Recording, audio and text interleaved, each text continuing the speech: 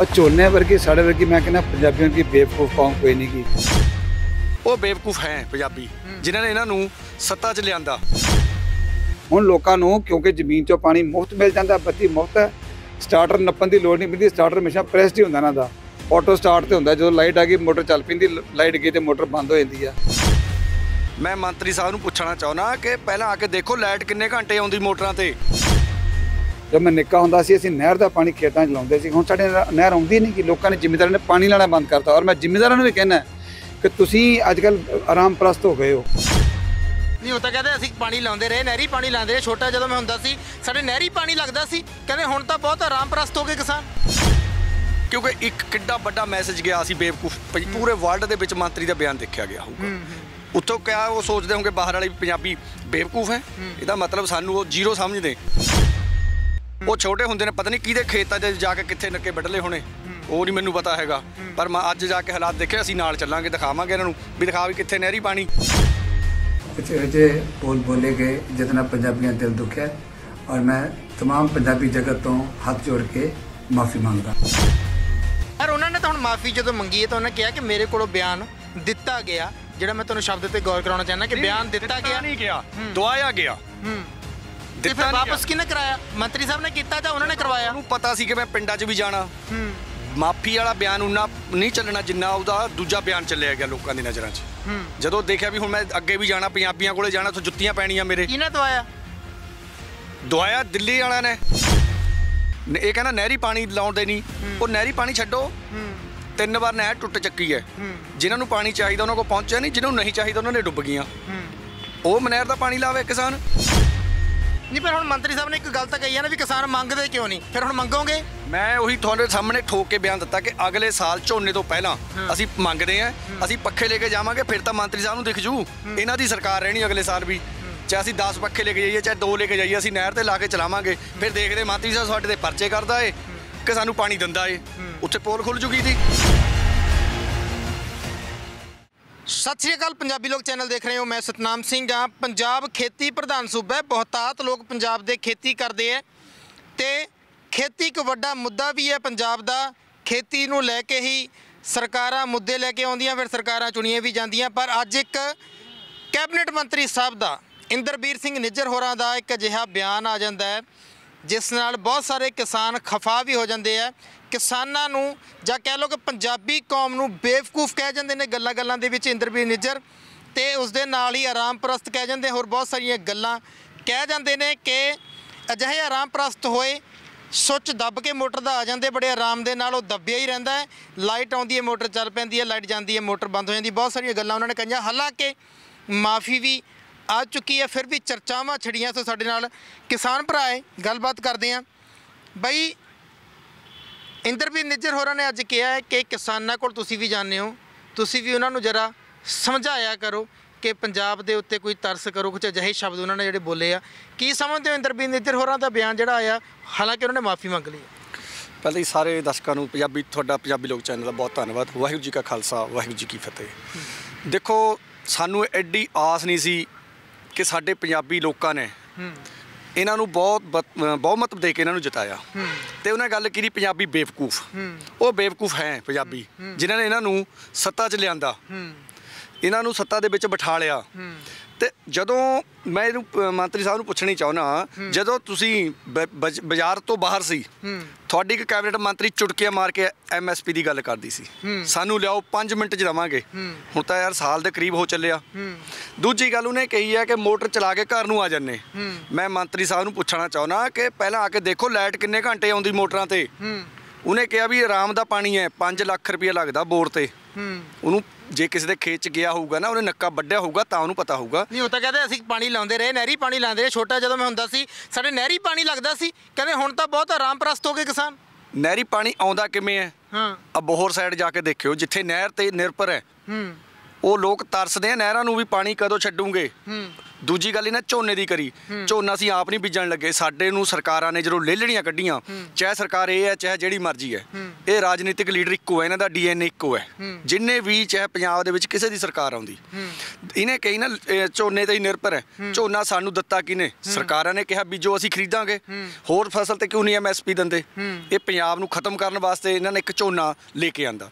ਦੂਜਾ ਅਸੀਂ ਸਾਨੂੰ ਕਿਆ ਲੋੜ ਅਸੀਂ 4-4 ਲੱਖ ਰੁਪਏ ਸਾਡੇ ਕੋਲ ਆਏ ਹੁਣ 4 ਲੱਖ ਰੁਪਏ ਸਾਡਾ ਬੋਰ ਤੇ ਲੱਗਦਾ। ਤੇ ਕਨੈਕਸ਼ਨ ਸਾਨੂੰ ਮਿਲਦਾ ਕਿ ਕਿੰਨਾ ਮਹਿੰਗਾ ਮੋਟਰ ਲੱਖ ਰੁਪਏ ਦੀ ਮੋਟਰ ਆਉਂਦੀ ਹੈ। ਸਾਨੂੰ ਕਿਆ ਲੋੜ ਹੈ? ਸਾਨੂੰ ਨਹਿਰੀ ਪਾਣੀ ਮਿਲੇ। ਜੇ ਪਹਿਲਾਂ ਝੋਨੇ ਦੀ ਗੱਲ ਕਰੀਏ ਤਾਂ ਝੋਨਾ ਲਾ ਕੇ ਕਿਸਾਨ ਖੁਸ਼ ਹੈ ਪੰਜਾਬ ਦਾ? ਬਿਲਕੁਲ ਖੁਸ਼ ਨਹੀਂ ਜੀ। ਝੋਨਾ ਸਾਡੀ ਇੱਕ ਮਜਬੂਰੀ ਹੈ ਕਿਉਂਕਿ ਝੋਨੇ ਦੇ ਪੇਮੈਂਟ ਨਾਲ ਦੀ ਨਾਲ ਮਿਲ ਜਾਂਦੀ ਬਸ। ਇਹ ਮਜਬੂਰੀ ਹੈ। ਗੰਨੇ ਦੇ ਪੈਸੇ ਦੇਣੇ ਇਹਨੇ ਕਹਿਣਾ ਸੀ ਗੰਨੇ ਦੇ ਪੈਸੇ ਪਾਤੇ। ਐਤਕੀ ਪੈ ਗਏ ਗੰਨਾ ਤਾਂ ਦੁਬਾਰੇ ਫੇਰ ਆ ਗਿਆ ਹਜੇ ਤੱਕ ਮਿਲ ਨਹੀਂ ਚੱਲੇ। ਅਸੀਂ ਧਰਨੇ ਲਾ ਲਾ ਕੇ ਮਿਲ ਚਲਵਾਏ ਗੱਲਾਂ ਮਾਨੀਆਂ ਬਹੁਤ ਸੌਖੀਆਂ, ਜੇ ਮਿਲ ਚਲਾਉਣਗੇ ਜ਼ਿਮੀਦਾਰ ਤਾਂ ਹੀ ਗੰਨਾ ਸਿੱਟੂ। ਉਹਨਾਂ ਨੇ ਇਹ ਕਿਹਾ ਵੀ ਨਹਿਰੀ ਪਾਣੀ ਕਿਸਾਨ ਮੰਗਦੇ ਕਿਉਂ ਨਹੀਂ? ਤੁਸੀਂ ਤੁਸੀਂ ਸਮਝਦੇ ਹੋ ਵੀ ਕਿਸਾਨਾਂ ਨੂੰ ਮੰਗਣਾ ਚਾਹੀਦਾ ਨਹਿਰੀ ਪਾਣੀ? ਅਗਰ ਅਸੀਂ ਨਹਿਰਾਂ ਦੇ ਨਹਿਰਾਂ ਦੇ ਹੱਕ ਦੇ ਵਿੱਚ ਧਰਨੇ ਲਾਏ ਸਾਨੂੰ ਨਹਿਰੀ ਪਾਣੀ ਚਾਹੀਦਾ ਫਿਰ ਇਹਨਾਂ ਕਹਿਣਾ ਧਰਨੇ ਲਾਉਨੇ ਆ। ਇਹਨਾਂ ਨੂੰ ਆਪਣੇ ਆਪ ਨਹੀਂ ਦਿਖਦਾ। ਬਈ ਅਸੀਂ ਭਾਈ ਪੰਜਾਬ ਨੂੰ ਆਪਣਾ ਨਹਿਰੀ ਪਾਣੀ ਦਈਏ। ਇਦੋਂ ਦਸ਼ਮੇਸ਼ ਨਹਿਰ ਨਿਕਲਣੀ ਸੀ ਜਿਹੜੀ ਹੁਣ ਤੱਕ ਨਹੀਂ ਨਿਕਲੀ। ਕਿਉਂ ਨਹੀਂ ਨਿਕਲੀ? ਕਿਉਂਕਿ ਇਹ ਜਿੰਨੇ ਵੀ ਆ ਸਭ ਆਰਐਸਐਸ ਦੇ ਚਮਚੇ ਦਿੱਲੀ ਤੋਂ। ਜੋ ਦਿੱਲੀ ਬੁਲਾਉਂਦੀ ਹੈ ਬੇਵਕੂਫ ਬੁਲਾਉਣਾ ਇਹਦੇ ਮਨ ਦੀ ਇੱਛਾ ਨਹੀਂ ਹੋ ਸਕਦੀ ਮੈਂ ਕਹਿਣਾ ਠੋਕ ਕੇ। ਪਰ ਦਿੱਲੀ ਵਾਲਿਆਂ ਨੇ ਇਹਦੇ ਦਬਾਅ ਦੇ ਕੇ ਇਹਨੂੰ ਦਵਾਇਆ ਤੇ ਤਾਂ ਹੀ ਨੇ ਦਮ ਦੇ ਕੇ ਮਾਫੀ ਮੰਗ ਲਈ। ਜੋ ਦਿੱਲੀ ਕਹਿੰਦੀ ਹੈ ਉਹ ਇਹ ਬੋਲਦੇ ਇਹ ਉਹਨਾਂ ਦੇ ਤੋਤੇ ਹੈ। ਆਰਐਸਐਸ ਜੋ ਪੰਜਾਬੀਆਂ ਨੂੰ ਬੇਵਕੂਫ ਕਿਉਂਕਿ ਇੱਕ ਕਿੱਡਾ ਵੱਡਾ ਮੈਸੇਜ ਗਿਆ ਸੀ ਬੇਵਕੂਫ ਪੂਰੇ ਵਰਲਡ ਦੇ ਵਿੱਚ ਮੰਤਰੀ ਦਾ ਬਿਆਨ ਦੇਖਿਆ ਗਿਆ ਹੋਊਗਾ। ਉੱਥੋਂ ਕਿਆ ਉਹ ਸੋਚਦੇ ਹੋਣਗੇ ਬਾਹਰ ਵਾਲੇ ਪੰਜਾਬੀ ਬੇਵਕੂਫ ਹੈ? ਇਹਦਾ ਮਤਲਬ ਸਾਨੂੰ ਉਹ ਜ਼ੀਰੋ ਸਮਝਦੇ। ਇਹ ਮੰਤਰੀ ਸਾਹਿਬ ਨੂੰ ਸੋਚ ਕੇ ਬਿਆਨ ਦੇਣਾ ਚਾਹੀਦਾ ਸੀ। ਦੂਜੀ ਗੱਲ ਤੁਸੀਂ ਨਹਿਰ ਦੀ ਪਾਣੀ ਮੰਗ ਕਰੀ। ਇਹ ਹੋਏ ਕਾਮਰੇਡ ਹੋਏ। ਮੈਂ ਇੱਕ ਗੱਲ ਛੋਟੀ ਜੀ ਕਰਨੀ ਚਾਹੁੰਦਾ ਦਿੱਲੀ ਧਰ ਮੋਹਾਲੀ ਧਰਨੇ ਦੇ ਵਿੱਚ ਮੈਂ ਬੋਲਤਾ ਸੀ। ਕਾਮਰੇਡਾਂ ਦਾ ਧਰਨਾ ਸੀ। ਵੀ ਸਾਨੂੰ ਨਹਿਰਾਂ ਦੇ ਉੱਪਰ ਪੱਖੇ ਲਾਉਣੇ ਚਾਹੀਦੇ। ਹਰ ਇੱਕ ਪਿੰਡ ਦੇ ਵਿੱਚੋਂ 2-2 4-400 ਪੱਖਾ ਲਾਓ ਜਿਹਦੇ ਦੇਖਦੇ ਕਿੰਨੇ ਕੁ ਦੇ ਚਲਾਨ ਕੱਟ ਦੇਣਗੇ ਇਹ। ਕਿਆ ਮੰਤਰੀ ਅਸੀਂ ਪੱਖੇ ਲਾਵਾਂਗੇ। ਮੰਤਰੀ ਸਾਹਿਬ ਸਾਡੇ ਚਲਾਨ ਕੱਟੂਗਾ ਫਿਰ? ਪਰ ਉੱਥੇ ਵੀ ਇੱਕ ਕਾਮਰੇਡ ਬੋਲ ਪਿਆ ਸੀ। ਇਹ ਸਾਡੀ ਮੰਗ ਨਹੀਂ ਜੀ ਹੈਗੀ। ਕਿਉਂਕਿ ਕਾਮਰੇਡ ਹੋਏ ਇਹ ਮੰਤਰੀ ਹੋਏ ਇਹ ਇੱਕੋ ਮਾਂ ਦੇ ਪੁੱਤ ਹੈ। ਇਹ ਨਹੀਂ ਚਾਹੁੰਦੇ ਕਿ ਸਾਡਾ ਪੰਜਾਬ ਤਰੱਕੀ ਕਰੇ। ਇਹਨਾਂ ਨੇ ਬਿਆਨ ਦੇ ਕੇ ਹਰ ਹੀਲੇ ਹਰ ਪਾਸੇ ਨੂੰ ਕਿਸਾਨਾਂ ਨੂੰ ਮਜ਼ਦੂਰਾਂ ਨੂੰ ਪੰਜਾਬੀਆਂ ਨੂੰ ਹੀ ਗਲਤ ਠਹਿਰਾਉਣਾ। ਪਰ ਉਹਨਾਂ ਨੇ ਤਾਂ ਹੁਣ ਮਾਫੀ ਜਦੋਂ ਮੰਗੀ ਹੈ ਤਾਂ ਉਹਨਾਂ ਕਿਹਾ ਕਿ ਮੇਰੇ ਕੋਲੋਂ ਬਿਆਨ ਦਿੱਤਾ ਗਿਆ ਜਿਹੜਾ ਮੈਂ ਤੁਹਾਨੂੰ ਸ਼ਬਦ ਤੇ ਗੌਰ ਕਰਾਉਣਾ ਚਾਹੁੰਦਾ ਕਿ ਬਿਆਨ ਦਿੱਤਾ ਗਿਆ। ਨਹੀਂ ਗਿਆ। ਦਵਾਇਆ ਗਿਆ। ਹੂੰ। ਤੇ ਫਿਰ। ਵਾਪਸ ਕਿਹਨੇ ਕਰਾਇਆ? ਮੰਤਰੀ ਸਾਹਿਬ ਨੇ ਕੀਤਾ ਜਾਂ ਉਹਨਾਂ ਨੇ ਕਰਵਾਇਆ? ਉਹਨੂੰ ਪਤਾ ਸੀ ਕਿ ਮੈਂ ਪਿੰਡਾਂ 'ਚ ਵੀ ਜਾਣਾ। ਹੂੰ। ਮਾਫੀ ਵਾਲਾ ਬਿਆਨ ਉਨਾ ਨਹੀਂ ਚੱਲਣਾ ਜਿੰਨਾ ਉਹਦਾ ਦੂਜਾ ਬਿਆਨ ਚੱਲਿਆ ਗਿਆ ਲੋਕਾਂ ਦੀ ਨਜ਼ਰਾਂ 'ਚ। ਹੂੰ। ਜਦੋਂ ਦੇਖਿਆ ਵੀ ਹੁਣ ਮੈਂ ਅੱਗੇ ਵੀ ਜਾਣਾ ਪੰਜਾਬੀਆਂ ਕੋਲੇ ਜਾਣਾ ਉੱਥੇ ਜੁੱਤੀਆਂ ਪੈਣੀਆਂ ਮੇਰੇ। ਕਿਹਨੇ ਦਵਾਇਆ? ਦਵਾਇਆ ਦਿੱਲੀ ਵਾਲਿਆਂ ਨੇ ਆਰਐਸਐਸ ਨੇ। ਪਰ ਉਹਨਾਂ ਨੇ ਜਦੋਂ ਮਾਫੀ ਮੰਗੀ ਇਹ ਵੀ ਕਿਹਾ ਨਾ ਮੈਂ ਤਾਂ ਆਪ ਸਰਦਾਰ ਮੈਂ ਪੰਜਾਬੀ ਆ ਮੈਂ ਜਿਹੜਾ ਹੈਗਾ ਬਿਆਨ ਮੇਰਾ ਦਿਲ ਦੁਖਿਆ ਮੇਰੇ ਬਿਆਨ ਨਾਲ ਲੋਕਾਂ ਦਾ ਮੰਤਰੀ ਸਾਹਿਬ ਹੈ ਕੋਈ ਮੇਰੇ ਵਰਗਾ ਰਾਹ ਫਿਰਦਾ ਬੰਦਾ ਨਹੀਂ ਹੈਗਾ। ਅਸੀਂ ਇੱਕ ਕਿਸਾਨ ਆਗੂ ਅਸੀਂ ਵੀ ਸੋਚ ਕੇ ਬੋਲਦੇ ਕੈ ਮੇਰੇ ਬੁਰੇ? ਉਸ ਨੂੰ ਸੋਚ ਕੇ ਬੋਲਣਾ ਚਾਹੀਦਾ ਕਿ ਮੈਂ ਕਹਿ ਕਿਹਨੂੰ ਰਿਹਾ? ਇਹ ਪੰਜਾਬੀ ਨਹੀਂ ਹੈਗੇ ਬਹਿਰੂਪੀਏ ਹੈ। ਪਰ ਉਹ ਇਹ ਵੀ ਕਹਿੰਦੇ ਆ ਕਿ ਇਹਨਾਂ ਨੂੰ ਅਸੀਂ ਸਾਰਾ ਕੁਝ ਦਿੱਤਾ ਇਹਨਾਂ ਨੂੰ ਅਸੀਂ ਗੰਨੇ ਦਾ ਉਹ ਦਿੱਤਾ ਅਸੀਂ ਇਹਨਾਂ ਨੂੰ ਜਿਹੜਾ ਮੂੰਗੀ ਦੀ ਫਸਲਾਂ ਵਰਗੀਆਂ ਦੇ ਉੱਤੇ ਵੀ ਅ, ਕੀਮਤ ਵਧੀਆ ਦਿੱਤੀ ਹੈ ਪਰ ਅਸੀਂ ਸਾਰੇ ਕਿਸੇ ਨੂੰ ਦੇਖਣਾ ਹੈ ਅਸੀਂ ਸ਼ਹਿਰਾਂ ਨੂੰ ਵੀ ਦੇਖਣਾ ਅਸੀਂ ਬਹੁਤ ਇਹਨਾਂ ਨੂੰ ਕੱਲਿਆਂ ਨੂੰ ਥੋੜੇ ਦੇਈ ਜਾਣਾ। ਮਿਲਿਆ ਕਿੱਥੇ? ਹੂੰ। ਮੈਂ ਜਦੇ ਜਦੋਂ ਇਹਦਾ ਬਿਆਨ ਦੇਖ ਰਿਹਾ ਸੀ ਮੈਂ ਜਦੇ ਆਪਣੇ ਜ਼ਿਲ੍ਹੇ ਪ੍ਰਧਾਨਾਂ ਨੂੰ ਅਬੋਹਰ ਸਾਈਡ ਉਧਰ ਫਾਜ਼ਿਲਕਾ ਸਾਈਡ ਫੋਨ ਕੀਤੇ। ਮਾਂ ਜੀ ਸਾਨੂੰ ਤਾਂ ਪੈਸੇ ਮਿਲ ਗਏ। ਮੰਤਰੀ ਸਾਹਿਬ ਦਾ ਬਿਆਨ ਹੈ। ਉਹ ਕਹਿੰਦਾ ਕਿਹੜੇ ਮੰਤਰੀ ਦਾ? ਮੈਂ ਨੀਜਰ ਸਾਹਿਬ ਬਿਆਨ ਦੇ ਰਹੇ ਅਸੀਂ ਸਾਰੇ ਪੈਸੇ ਪਾਤੇ। ਉਹ ਕਹਿੰਦਾ ਪਾਏ ਕਿਹਦੇ ਖਾਤਿਆਂ 'ਚ? ਇਹ ਦੇਖ ਵੀ ਲੈ ਮੈਂ ਵੀ ਕਿਤੇ ਆਪਣੇ ਬੰਦੇ ਦੇ ਤਾਂ ਨਹੀਂ ਪਾਤੇ ਆਪਣੇ ਜਿਹੜੇ ਪਾਰਟੀ ਵਾਲੇ ਹੈ ਹੂੰ ਕਿਸਾਨਾਂ ਨੂੰ ਮਿਲੇ। ਇਹ ਤਾਂ ਬਿਆਨ ਦਵੇ ਨਾ ਵੀ ਹਾਂ ਭਾਈ ਕਿਹਦੇ ਖਾਤੇ 'ਚ ਆਏ ਉਹ ਤਾਂ ਦਿਖਾ ਦੇਵੇ ਸਾਨੂੰ। ਇਹ ਕਹਿੰਦਾ ਨਹਿਰੀ ਪਾਣੀ ਲਾਉਣ ਦੇ ਨਹੀਂ। ਉਹ ਨਹਿਰੀ ਪਾਣੀ ਛੱਡੋ। ਤਿੰਨ ਵਾਰ ਨਹਿਰ ਟੁੱਟ ਚੱਕੀ ਹੈ। ਜਿਨ੍ਹਾਂ ਨੂੰ ਪਾਣੀ ਚਾਹੀਦਾ ਉਹਨਾਂ ਕੋਲ ਪਹੁੰਚਿਆ ਨਹੀਂ ਜਿਹਨਾਂ ਨੂੰ ਨਹੀਂ ਚਾਹੀਦਾ ਉਹਨਾਂ ਨੇ ਡੁੱਬ ਗਈਆਂ। ਉਹ ਮਨਹਿਰ ਦਾ ਪਾਣੀ ਲਾਵੇ ਕਿਸਾਨ। ਮੰਤਰੀ ਸਾਹਿਬ ਜੇ ਗੱਡੀ ਚੋਂ ਨਿਕਲ ਕੇ ਲੋਕਾਂ ਦੇ ਜਾਣਗੇ ਤਾਂ ਪਤਾ ਲੱਗੂਗਾ। ਉਹ ਛੋਟੇ ਹੁੰਦੇ ਨੇ ਪਤਾ ਨਹੀਂ ਕਿਹਦੇ ਖੇਤਾਂ 'ਚ ਜਾ ਕੇ ਕਿੱਥੇ ਨੱਕੇ ਵੱਢਲੇ ਹੋਣੇ। ਉਹ ਨਹੀਂ ਮੈਨੂੰ ਪਤਾ ਹੈਗਾ। ਪਰ ਮੈਂ ਅੱਜ ਜਾ ਕੇ ਹਾਲਾਤ ਦੇਖੇ ਅਸੀਂ ਨਾਲ ਚੱਲਾਂਗੇ ਦਿਖਾਵਾਂਗੇ ਇਹਨਾਂ ਨੂੰ ਵੀ ਦਿਖਾ ਵੀ ਕਿੱਥੇ ਨਹਿਰੀ ਪਾਣੀ। ਅਸੀਂ ਤਰਸਦੇ ਹਾਂ ਅਸੀਂ ਅਗਰ ਪੱਖੇ ਲਾਉਨੇ ਆ ਉਰੇ। ਤੁਸੀਂ ਤੁਹਾਨੂੰ ਕਿਤੇ ਮਿਲਿਆ ਉਹਨੂੰ ਪੁੱਛੀ ਵੀ ਕਿਸਾਨ ਜੂਨੀਅਰ ਕੁਲਵਿੰਦਰ ਸਿੰਘ ਪਜੋੜੇ ਨੇ ਬਿਆਨ ਕੀਤਾ ਦਿੱਤਾ ਇਹ ਵੀ ਉਹ ਪੱਖੇ ਲਾਉਣਗੇ ਅਗਲੇ ਸਾਲ ਝੋਨਾ ਲਾਉਣ ਤੋਂ ਪਹਿਲਾਂ। ਵੀ ਫਿਰ ਕਿਆ ਉਹਨਾਂ ਦੇ ਚਲਾਨ ਹੋਣਗੇ? ਤੁਸੀਂ ਕੱਟੂਗੇ ਕਿ ਰੋਕੂਗੇ ਉਹਨਾਂ ਨੂੰ ਕੋਈ ਡਾਂਗ ਫੇਰੂਗੇ? ਇਹ ਵੀ ਤਜਰਬਾ ਤੁਹਾਨੂੰ ਦਿਖਾਵਾਂਗੇ ਐਤਕੀ ਗਾਹਾਂ ਨੂੰ ਅਗਲੇ ਸਾਲ। ਅਸੀਂ ਪੱਖੇ ਲਾਵਾਂਗੇ ਨਹਿਰ ਤੋਂ ਕਹਿੰਦਾ ਨਹਿਰ ਪਾਣੀ ਲਾਓ। ਇਹ ਤਾਂ ਮੰਤਰੀ ਸਾਹਿਬ ਦਾ ਬਿਆਨ ਹੈ। ਅਸੀਂ ਪੱਖੇ ਲਾਵਾਂਗੇ ਫਿਰ ਦੇਖਦੇ ਕਿਆ ਕਰਦਾ ਮੰਤਰੀ ਸਾਹਿਬ। ਕਿ ਜਾਂ ਤਾਂ ਸਾਨੂੰ ਨਹਿਰ ਕੱਢੋ। ਨਹੀਂ ਅਸੀਂ ਪੱਖੇ ਲਾਵਾਂਗੇ ਫਿਰ। ਪਰ ਉਹਨਾਂ ਨੇ ਇਹ ਵੀ ਕਿਹਾ ਨਾ ਵੀ ਪੰਜਾਬ ਜਿਹੜਾ ਹੈਗਾ ਰੇਗਿਸਤਾਨ ਬਣਦਾ ਜਾ ਰਿਹਾ ਪੰਜਾਬ ਦੇ ਵਿੱਚ ਪਾਣੀ ਖਤਮ ਹੁੰਦਾ ਜਾ ਰਿਹਾ। ਇਹ ਚੀਜ਼ ਨੂੰ ਤੁਸੀਂ ਸਹੀ ਸਮਝਦੇ ਹੋ ਵੀ ਪੰਜਾਬ ਦਾ ਜਿਹੜੀ ਹੈਗੀ ਤਬਾਹੀ ਦੇ ਰਾਹ ਤਾਂ ਪੰਜਾਬ ਤੁਰਿਆ ਹੋਇਆ ਕਿਤੇ ਨਾ ਕਿਤੇ ਜੇ ਮੰਤਰੀ ਸਾਹਿਬ ਦੇ ਬਿਆਨਾਂ ਦੇ ਉੱਤੇ ਗੌਰ ਕਰਕੇ ਦੇਖੀਏ ਤਾਂ ਕਿਤੇ ਨਾ ਕਿਤੇ ਗੱਲ ਤਾਂ ਹੈਗੀ ਹੈ ਨਾ ਪੰਜਾਬ ਦੇ ਵਿੱਚ ਪਾਣੀ ਤਾਂ ਖਤਮ ਹੋ ਰਿਹਾ। ਬਿਲਕੁਲ। ਪਰ ਕਿਸਾਨ ਪਾਣੀ ਵਰਤਦਾ ਕਿੰਨਾ ਹੈ। ਜਿਵੇਂ ਦਿੱਲੀ ਵਾਲਾ ਕਹਿੰਦਾ ਨਾ ਵੀ ਪੰਜਾਬ ਦਾ ਧੂਆਂ ਦਿੱਲੀ ਚ ਆਉਂਦਾ। ਹਾਂ। ਪਰ ਜੋ ਵਿਗਿਆਨਿਕ ਹੈ ਸਾਇੰਟਿਸਟ ਉਹ ਕਹਿੰਦੇ ਵੀ ਆਉਂਦਾ ਹੀ ਕੁਝ ਨਹੀਂ ਦਿੱਲੀ ਤੱਕ। ਇਹ ਕਹਿੰਦਾ ਵੀ ਪ- ਕਿਸਾਨਾਂ ਨੇ ਪਾਣੀ ਖਤਮ ਕਰਤਾ ਉਹਦਾ ਕਹਿਣ ਦਾ ਭਾਵ ਤਾਂ ਇਹੀ ਹੈ ਨਾ। ਕਿਸਾਨ ਵਰਤਦਾ ਕਿੰਨਾ ਪਾਣੀ?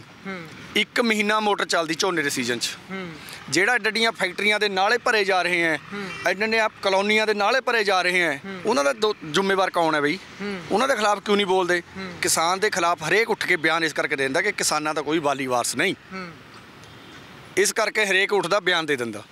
ਕਦੇ ਇਹਨਾਂ ਨੇ ਉੱਤੇ ਮਲਟੀਪਲਾਈਟ ਕੀਤਾ ਕਿ ਕਿਸਾਨ ਕਿੰਨਾ ਪਾਣੀ ਵਰਤਦਾ ਕਲੋਨੀਆਂ ਫੈਕਟਰੀਆਂ 'ਚ ਕਿੰਨਾ ਪਾਣੀ ਵਰਤ ਹੁੰਦਾ ਇੱਕ ਜੀਨ ਦੀ ਪੈਂਟ 100 ਲੀਟਰ ਦੇ ਕਰੀਬ ਪਾਣੀ ਖਰਾਬ ਕਰ ਦਿੰਦੀ। ਉੱਥੇ ਕਦੇ ਸੋਚਿਆ ਇਹਨਾਂ ਨੇ? ਨਹੀਂ ਸੋਚਿਆ ਨਾ। ਬਸ ਉੱਠਣਾ ਕਿਸਾਨ ਦੇ ਖਿਲਾਫ ਕਿਉਂਕਿ ਕਿਸਾਨ ਦਾ ਪਾਣੀ ਦਿਖਦਾ ਏ। ਪਰ ਜੇ ਕਿਸਾਨ ਫਸਲ ਨਹੀਂ ਪੈਦਾ ਕਰੂਗਾ ਜੀਨ ਦੀ ਪੈਂਟ ਬਗੈਰ ਸਰਜੂ ਫਸਲ ਬਗੈਰ ਕਿਵੇਂ ਸਰੂ? ਰੇਗਿਸਤਾਨ ਬਣਦਾ ਸਾਨੂੰ ਵੀ ਪਤਾ ਹੈ ਕਿ ਜੇ ਅਸੀਂ ਛੋਟੇ ਛੋਟੇ ਹੁੰਦੇ ਸੀ ਸਾਡੇ ਪਿੰਡਾਂ ਦੇ ਵਿੱਚ 10 ਫੁੱਟ ਪਰ ਪੱਖਾ ਪਿਆ ਹੁੰਦਾ ਸੀ। ਅੱਜ 400 ਫੁੱਟ ਪਰ ਚਲੇ ਗਿਆ। ਜੇ ਸਾਨੂੰ ਇਹ ਨਹਿਰੀ ਪਾਣੀ ਦੇ ਦਿੰਦੇ ਚਾਹੇ ਇਹ ਹੈ ਚਾਹੇ ਪਹਿਲੇ ਹੈ ਇੱਕੇ ਮਾਂ ਦੇ ਪੁੱਤਾਂ ਜਿੰਨੇ ਲੀਡਰ ਹੈ ਦੇ ਦਿੰਦੇ ਸਾਨੂੰ ਕਹ ਲੋੜ ਸੀ ਬੋਰ ਕਰਨ ਦੀ? ਨਹੀਂ ਪਰ ਹੁਣ ਮੰਤਰੀ ਸਾਹਿਬ ਨੇ ਇੱਕ ਗੱਲ ਤਾਂ ਕਹੀ ਹੈ ਨਾ ਵੀ ਕਿਸਾਨ ਮੰਗਦੇ ਕਿਉਂ ਨਹੀਂ? ਫਿਰ ਹੁਣ ਮੰਗੋਗੇ? ਮੈਂ ਉਹੀ ਤੁਹਾਡੇ ਸਾਹਮਣੇ ਠੋਕ ਕੇ ਬਿਆਨ ਦਿੱਤਾ ਕਿ ਅਗਲੇ ਸਾਲ ਝੋਨੇ ਤੋਂ ਪਹਿਲਾਂ ਅਸੀਂ ਮੰਗਦੇ ਆਂ ਅਸੀਂ ਪੱਖੇ ਲੈ ਕੇ ਜਾਵਾਂਗੇ ਫਿਰ ਤਾਂ ਮੰਤਰੀ ਸਾਹਿਬ ਨੂੰ ਦਿਖ ਜੂ ਇਹਨਾਂ ਦੀ ਸਰਕਾਰ ਰਹਿਣੀ ਅਗਲੇ ਸਾਲ ਵੀ। ਚਾਹੇ ਅਸੀਂ 10 ਪੱਖੇ ਲੈ ਕੇ ਜਾਈਏ ਚਾਹੇ 2 ਲੈ ਕੇ ਜਾਈਏ ਅਸੀਂ ਨਹਿਰ ਤੇ ਲਾ ਕੇ ਚਲਾਵਾਂਗੇ, ਫਿਰ ਦੇਖਦੇ ਮੰਤਰੀ ਸਾਹਿਬ ਸਾਡੇ ਤੇ ਪਰਚੇ ਕਰਦਾ ਏ ਕਿ ਸਾਨੂੰ ਪਾਣੀ ਦਿੰਦਾ ਏ। ਉੱਥੇ ਪੋਲ ਖੁੱਲ ਜੂਗੀ ਦੀ ਇਹ ਕਹਿੰਦਾ ਮੰਗਦੇ ਨਹੀਂ ਅਸੀਂ ਮੰਗਾਂਗੇ। ਠੀਕ ਹੈ, ਐਤਕੀ ਸਰਕਾਰ ਆਈ ਹੈ, ਇਹਨਾਂ ਨੇ ਕਿਹਾ ਵੀ ਮੰਗਦੇ ਕਿਉਂ ਨਹੀਂ? ਅਸੀਂ ਮੰਗਾਂਗੇ, ਅਸੀਂ ਪੱਖੇ ਵੀ ਲਾਵਾਂਗੇ ਨਹਿਰਾਂ ਤੇ। ਦੇਖਦੇ ਆ ਫਿਰ ਵੀ ਚਲਾਨ ਕਰਦਾ ਸਾਡੇ ਸਾਡੇ ਖਿਲਾਫ ਪਰਚੇ ਦਿੰਦਾ ਕਿ ਸਾਨੂੰ ਪਾਣੀ ਦਿੰਦਾ। ਪਰ ਕਹਿੰਦੇ ਜਿਹੜੇ ਹੈਗੇ ਮੋਗੇ ਖੋਲਣ ਵਾਸਤੇ ਵੱਡੇ ਜਿਹੜੇ ਉਹਨਾਂ ਦੇ ਨੱਕੇ ਹੁੰਦੇ ਦੋ ਦੋ ਬੰਦੇ ਕਹਿੰਦੇ ਚਾਹੀਦੇ ਹੁੰਦੇ ਮੰਤਰੀ ਸਾਹਿਬ ਨੇ ਕਿਹਾ ਵੀ ਇਸ ਕਰਕੇ ਤਾਂ ਨਹੀਂ ਕਿਤੇ ਹੈਗੀ ਗੱਲ ਇਹ ਵੀ ਦੋ ਦੋ ਨੱਕਿਆਂ ਨੂੰ ਕਿਹੜਾ ਦੋ ਦੋ ਬੰਦੇ ਜਾਊਗੇ ਜਿਹੜੇ ਭਾਰੇ ਨੱਕਿਆਂ ਨੂੰ ਵਿੱਚ ਕਰਕੇ ਸੁੱਚ ਦੱਬੋ ਅਸੀਂ ਚਾਰ ਜਾਣੇ ਜਾਣ ਨੂੰ ਤਿਆਰ ਹੈ। ਸਾਨੂੰ ਪਾਣੀ ਫ੍ਰੀ ਚ ਮਿਲੇ। ਕਿੱਥੇ ਅਸੀਂ 5 ਲੱਖ ਲਾ ਕੇ ਧਰਤੀ ਦੀ ਹਿੱਕ ਚੋਂ ਪਾਣੀ ਕੱਢਣਾ ਕਿੱਥੇ ਨੱਕਾ ਜਾਂਦਾ ਅਸੀਂ ਚਾਰ ਨਹੀਂ ਜਾ ਸਕਦੇ ਨੱਕਾ ਲਾਉਣ। ਮਿਹਨਤ ਕਰਨ ਤਾਂ ਨਹੀਂ ਭੱਜਦੇ ਅੱਜ ਦੇ ਕਿਸਾਨ। ਕਿਸਾਨ ਉੱਥੇ ਆ ਕੇ ਸਾਡੇ ਨਾਲ ਦੇਖੇ ਮੰਤਰੀ ਸਾਹਿਬ ਵੀ ਕਿਵੇਂ ਕਿਸਾਨ ਖੇਤਾਂ 'ਚ ਰਾਤ ਨੂੰ ਜਦੋਂ 1 ਵਜੇ ਬਲੈਟ ਛੱਡਦੇ ਇਹ ਉੱਥੇ ਨੱਕਾ ਵੱਢਣ ਆਉਂਦਾ ਸਾਡੇ ਨਾਲ? ਇਹ ਦੇਖਣ ਆਉਂਦਾ? ਇਹਨੇ ਤਾਂ ਬਿਆਨ ਦੇਤਾ ਹੀ ਮੋਟਰ ਚੱਲਦੀ ਹੈ। ਕਿ ਇੱਕੇ ਖੇਤ 'ਚ ਤਾਂ ਨਹੀਂ ਚੱਲੀ ਜਾਊਗਾ 24 ਘੰਟੇ? 6 ਘੰਟੇ ਤੁਹਾਡੀ ਲਾਈਟ ਆਉਂਦੀ ਹੈ ਪਿੰਡਾਂ ਦੇ ਵਿੱਚ। ਇਹ ਕਹਿੰਦਾ ਉਹ ਸਾਨੂੰ ਤਾਂ ਵਕਤ ਪੈ ਜਾਂਦਾ ਵੀ ਕੱਲ ਨੂੰ ਆਉਣੀ ਨਹੀਂ। ਅੱਜ ਆਉਣੀ 6 ਘੰਟੇ ਵੀ ਫਟਾਫਟ ਭਰੀਏ ਆਪਣੇ ਖੇਤ। ਲੈਟ ਦੀ ਹੁਣ ਗੱਲ ਚੱਲੀ ਹੈ ਧਾਲੀਵਾਲ ਸਾਹਿਬ ਜਿਹੜੇ ਖੇਤੀਬਾੜੀ ਮੰਤਰੀ ਹੈ ਉਹਨਾਂ ਨੇ ਵੀ ਕਿਹਾ ਕਿ ਇਸ ਵਾਰ ਤਾਂ ਇੱਕ ਮਿੰਟ ਦੇ ਘੱਟ ਨਹੀਂ ਲੱਗੇ ਜਿਹੜਾ ਪੂਰਾ ਝੋਨੇ ਦੇ ਸੀਜ਼ਨ 'ਚ। 6 ਘੰਟੇ ਦੇ ਵਿੱਚ ਕੀ ਕਰ ਲੂਗਾ ਅਗਲਾ? ਦੱਸੋ। ਹੂੰ। 8 ਘੰਟੇ ਲਾਈਟ ਗਿਆ ਬਸ 6 ਘੰਟੇ ਆਉਂਦੀ ਹੈ। 6 ਘੰਟੇ 'ਚ ਕਿੰਨਾ ਰਕਬਾ ਭਰ ਲੂਗਾ ਇਹ ਕਹਿੰਦਾ ਦੱਬ ਕੇ ਬੈਠੇ ਰਹਿਣਾ ਮੁੜ ਕੇ ਜਾਂਦੇ ਨਹੀਂ। 6 ਘੰਟੇ ਦੇ ਵਿੱਚ ਕਿੰਨਾ ਰਕਬਾ ਭਰ ਲੂਗਾ ਪਹਿਲਾਂ ਤਾਂ ਇਹ ਮੰਤਰੀ ਸਾਹਿਬ ਨੂੰ ਆ ਕੇ ਦੇਖਣਾ ਚਾਹੀਦਾ। ਦੱਸੋ ਮੈਨੂੰ ਵੀ 6 ਘੰਟੇ 'ਚ ਬੰਦਾ 10 ਕਿੱਲੇ ਭਰ ਲੂ 2 ਕਿੱਲੇ ਭਰ ਲੂ ਜਿੰਨਾ ਕੁ ਅੱਗੇ ਭਰਦਾ ਉਨਾ ਕੁ ਪਿੱਛੇ ਸੁੱਕ ਜਾਂਦਾ। ਜਿਹਦੇ ਮੰਤਰੀ ਸਾਹਿਬ ਖੇਤਾਂ 'ਚ ਜਾਣਗੇ, ਦੇਖਣਗੇ, ਬੈਠ ਕੇ ਫੇਰ ਪਤਾ ਲੱਗੂਗਾ। ਇਹ ਤਾਂ ਗੱਲਾਂ ਮਾਰਦੇ ਸੀ, ਪਿੰਡਾਂ 'ਚੋਂ ਸਰਕਾਰ ਚੱਲੂ। ਮੈਂ ਕਹਿੰਦਾ ਇਹ ਤਾਂ ਚੱਲਦੀ ਦਿੱਲੀ ਤੋਂ ਪਹਿਲੀਆਂ, ਚੰਡੀਗੜ੍ਹ ਤੋਂ ਚੱਲਦੀਆਂ ਤੀਆਂ। ਹੂੰ ਉਹ ਕਹਿੰਦੇ ਜਿੱਦਣ ਅਸੀਂ ਗਲਤ ਹੋਵਾਂਗੇ ਸਾਨੂੰ ਉਸ ਦਿਨ ਕਿਹੋ ਕਿ ਤੁਸੀਂ ਗਲਤ ਹੋਗੇ। ਇੱਕ ਗੱਲ ਦੱਸੋ ਜੀ ਚੁਟਕੀਆਂ ਕਿਹਨੇ ਮਾਰੀਆਂ ਤੀਆਂ? ਤੇ ਮੰਤਰੀ ਸਾਹਿਬ ਇੱਕ ਹੋਰ ਆ ਪਰਸੋਂ ਇੱਕ ਇੱਕ ਤਾਂ ਕਹਿ ਰਿਹਾ ਪੰਜਾਬ ਦੇ ਵਿੱਚ ਮੈਨਿੰਗ ਬਿਲਕੁਲ ਬੰਦ। ਦੂਜੀ ਖੱਡਾਂ ਤੇ ਘੁੰਮਦੀ ਹੈ ਕਹਿੰਦੀ ਮੇਰੇ ਹਲਕੇ 'ਚ ਨਜਾਇਜ਼ ਮੈਨਿੰਗ ਚੱਲਦੀ। ਇਹ ਗਲਤੀ ਹੈ? ਕਿਹਦੀਆਂ ਗਲਤੀਆਂ ਇਹ? ਹੂੰ। ਆ ਪਹਿਲਾਂ ਬਿਆਨ ਦੇ ਦੇਣਾ ਬਾਅਦ ਚ ਮਾਫੀ ਮੰਗ ਲੈਣੀ। ਇਹ ਕਿਹਦੀ ਗਲਤੀ ਹੈ? ਇਹ ਗਲਤੀਆਂ ਹੀ ਆ ਇਹ। ਸੀਐਮ ਸਾਹਿਬ ਉੱਥੇ ਬੈਠੇ ਆ ਉਹ ਬਿਆਨ ਦਿੱਤਾ ਅਸੀਂ ਧਰਨਾ ਲਾ ਕੇ ਮਾਫੀ ਮੰਗਵਾਈ।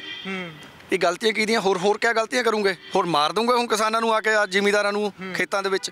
ਇਹ ਗਲਤੀਆਂ ਹੀ ਆ ਇਹਨਾਂ ਤੇ ਵਿਚਾਰ ਕਰਨਾ ਚਾਹੀਦਾ ਸਰਕਾਰ ਨੂੰ। ਕਿਉਂਕਿ 2024 ਦੇ ਬੋਰਡ ਲਾ ਰਹੇ ਦੂਜੀ ਗੱਲ ਇਹ ਕਹਿੰਦਾ ਮੈਂ ਪਿੰਡ ਦੇਖਣੇ ਸਕੂਲ ਦੇਖਣੇ।